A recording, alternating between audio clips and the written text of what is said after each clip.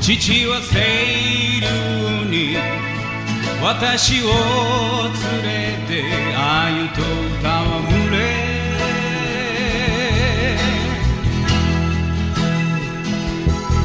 母は月見そう揺れる河原に。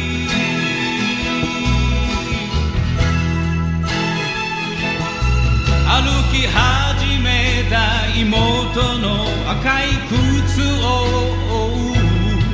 今は遠く懐かしい。あの夏の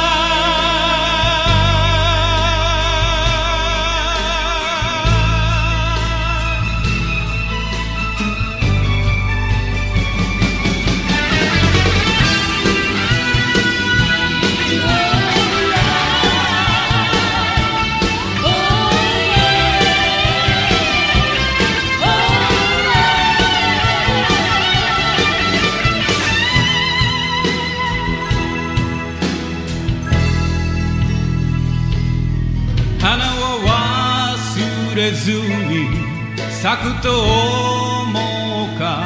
百年先も。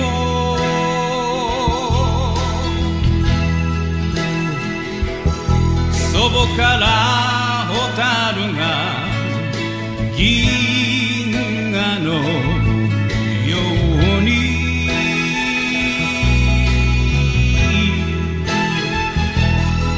群れて飛んだと北のは竹やぶの家。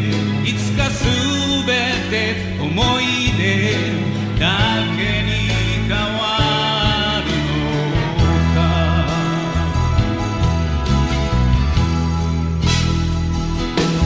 愛する人と巡り合って風に吐息を隠したり。